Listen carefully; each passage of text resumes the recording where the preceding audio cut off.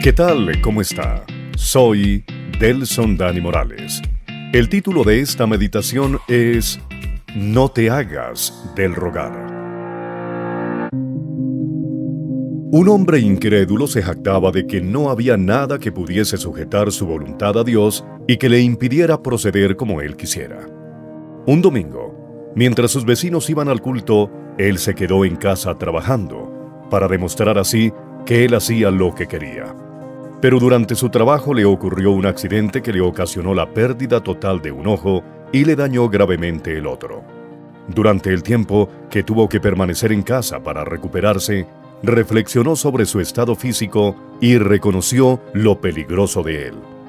Por el peligro en que había estado su cuerpo, comprendió el peligro en que se hallaba su alma si no se humillaba y arrepentía de sus pecados delante del Señor.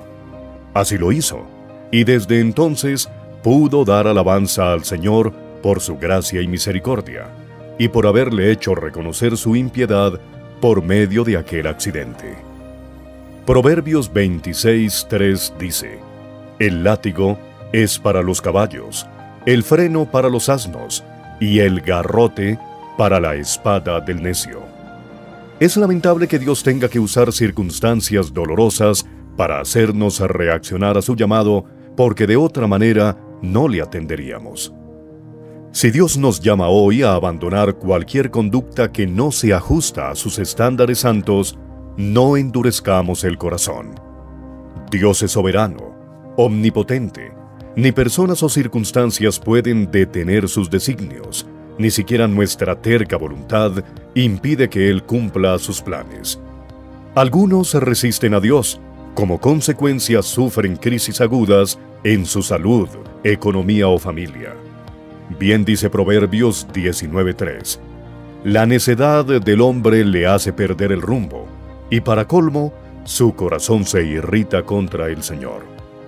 ¿Cuánto tiempo más debe pasar para que atendamos al llamado del Señor? ¿Qué experiencias debemos enfrentar para decirle de una vez por todas sí a Dios?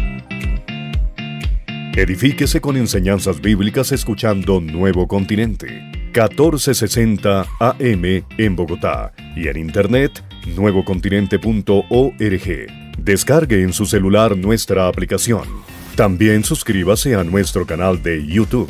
Comuníquese a nuestro WhatsApp más 57 311 830 4162.